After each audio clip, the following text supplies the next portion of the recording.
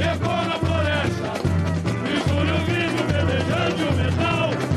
Eu sou a lágrima de prata, o brilho da E aí a última alegoria. Hoje o a Amazona. É a Amazona, mulher bravura. É poder. Umas homenagens, né? A Dom Philip, Chico Mendes, ao Bruno Pereira e a cultura. Amazônia Viva, arte,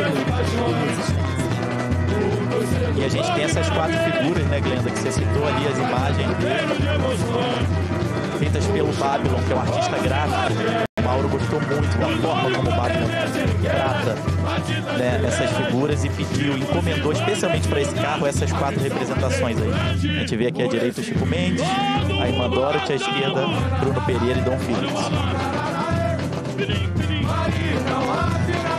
Ecoam, ecoam terceira alegoria representa justamente o manifesto em defesa dos povos da floresta.